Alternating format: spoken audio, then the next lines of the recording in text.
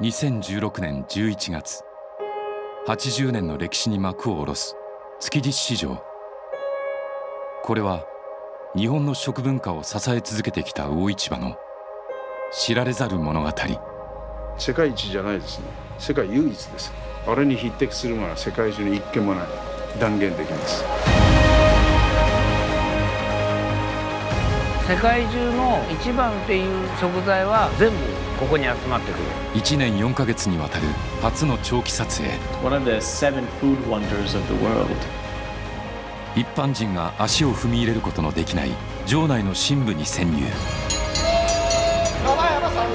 探り合いでやってるんだ使命感持ってるんでそこに映し出される築地市場の真の姿。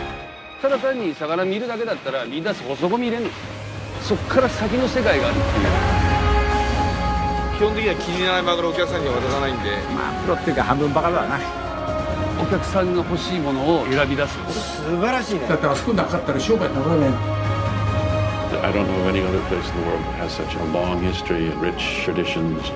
The architecture is, is absolutely world class. I mean, it's 築地もう聖地だねようこそ誰も見たことがない不思議の世界へ。築地ワンダーランド。